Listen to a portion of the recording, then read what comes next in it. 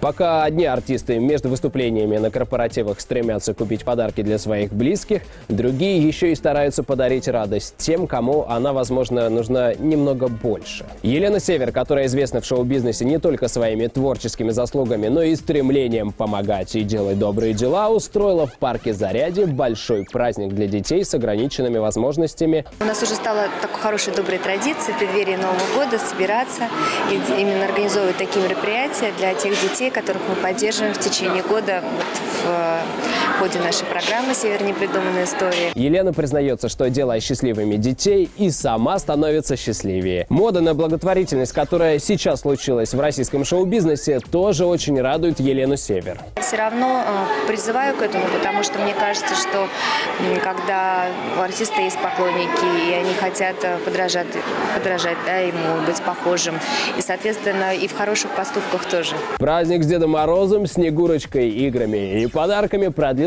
несколько часов. И, судя по счастливым глазам детей и их родителей, в новогоднее чудо они стали верить еще сильнее.